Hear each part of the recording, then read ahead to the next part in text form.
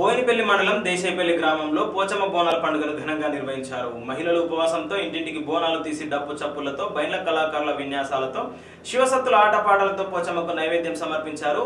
బోనాలు సమర్పించి మొక్కులు చెల్లించుకున్నారు. కార్యక్రమంలో సర్పంచ్ ఒంటెల గోపాల్ రెడ్డి ఉప సర్పంచ్ శ్రీనివాస్ రెడ్డి నాయకులు మైపాల్ రెడ్డి శ్రీనివాస్ రెడ్డి గ్రామస్తులు పాల్గొన్నారు.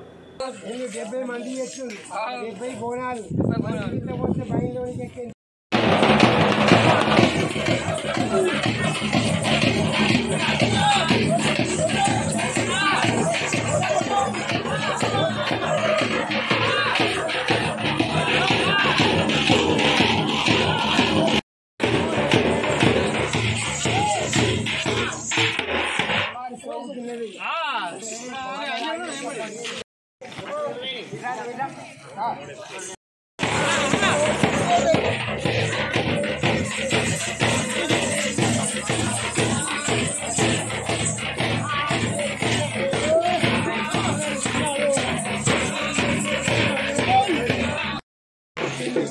రాత్రి పగలనగా పుట్టింది అమ్మవారు ఆ శివుని శివాపురి పడడం అన్నారు